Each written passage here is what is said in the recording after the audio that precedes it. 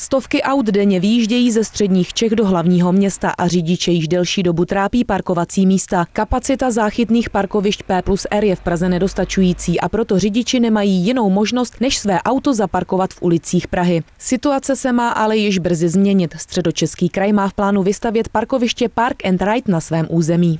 Chceme jednak eh, ulehčit Praze, ale chceme taky eh, co nejvíce lidí udržet eh, v těch prostředcích hromadné dopravy. Kraj plánuje výstavbu záchytných parkovišť vybudovat na důležitých dopravních spojkách tak, aby se lidé pohodlně dostali do hlavního města a zároveň tím omezili automobilovou dopravu. Mezi ně patří železniční a autobusové nádraží. My doufáme, že to budou desítky lokalit, ale v současné době máme připraveno asi pět nebo šest lokalit, kde velmi intenzivně jednáme s představiteli obcí.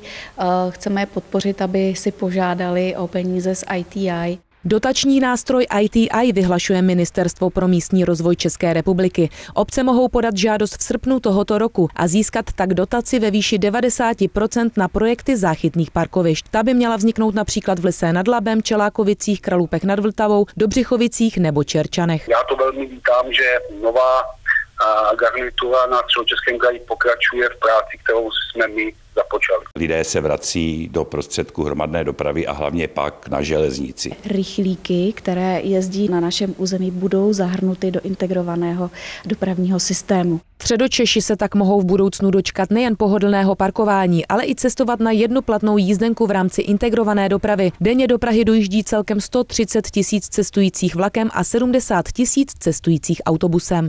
Jana Šilerová, televize Praha.